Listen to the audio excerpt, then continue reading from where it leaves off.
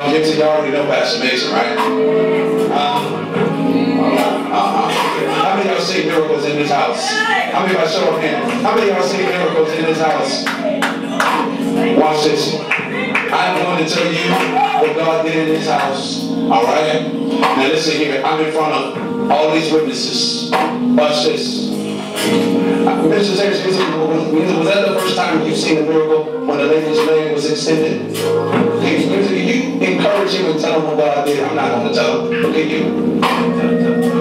The lady that was here, her, uh, her, she was born with an uneven leg. One leg was longer than the other and uh, God directed the pastor to pray for her, and her leg began to grow right here in the sanctuary, and where she had balance and her equilibrium was was uh, was balanced right here in the sanctuary.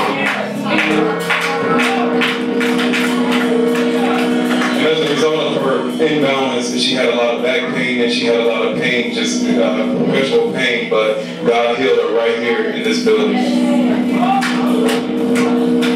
Now, I, I, I, I just wanted I just wanted somebody else to say it other than myself. Because you know what? I'm crazy enough to believe the healing is in this atmosphere right now. Yes. And if y'all wait on the prophetic word, you better wait. That's all I'm going Isaac Mason go forth. But listen here. This is your moment right now. All right? I'm, I'm, I'm gonna need that, that one of these chairs. Um, um, Prophet, you can slide over. You can sit in my chair. I'm, I'm, I'm gonna need. Uh, I'm, gonna need one of these chairs. Mm-hmm. Okay. I'm gonna need you to do. I'm gonna need you to sit down.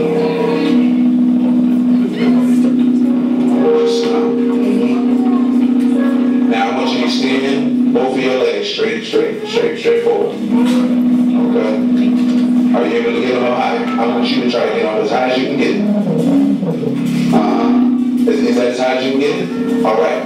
Now I know I got you working your hip, but I want these people to see how much shorter this leg is from the other. All right? All right? Mm-hmm. All right. Are, are, y'all able to see?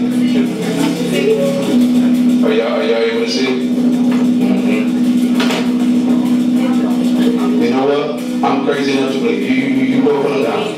I'm crazy enough to believe yes. that in front of all of these witnesses, that God is about to heal you.